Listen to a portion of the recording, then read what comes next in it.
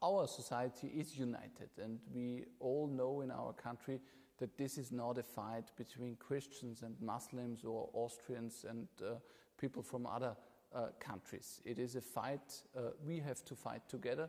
It is a war against terrorism and it is a war against the ideology behind. It is crystal clear that this terrorist attack was an Islamist uh, terrorist attack.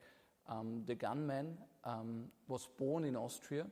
Um, he has a migration background from northern Macedonia, and what we also know uh, is that he is a supporter of the Islamic State. Because um, President Macron of France, he came out after the attack happened here and said this is a friendly nation in Europe that was attacked about uh, Austria.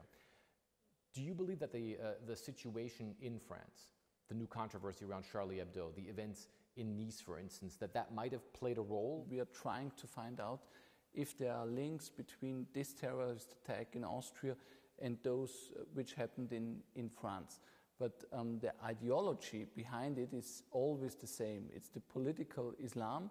Um, it's uh, the idea of radicalizing youth, of radicalizing the second generation um, of people who live in our societies to fight our societies. And that's, that's the main challenge we will have in the European Union how to deal with these people uh, and uh, how to fight not only the terrorists themselves, but also those um, who try to um, who try to mislead young people in mosques and uh, try to um, spread these ideas in our societies.